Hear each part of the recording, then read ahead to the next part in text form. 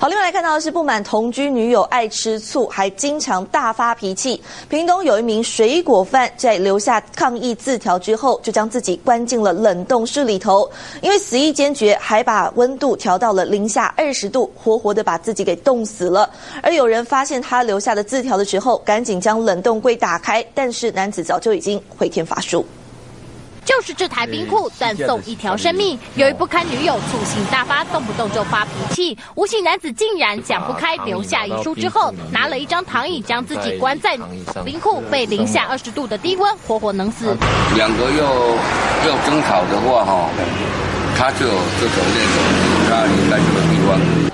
姓男子在市场摆摊卖水果，和女子结识之后，变而同居。没想到女子总是疑神疑鬼，还闹脾气。长期下来，男子不堪其扰，写下遗书表示会回来索命，随后将自己关在自家冷冻冰库，此意相当坚决。这个门就卡上之后有一点就反锁，就从里面就无法打开。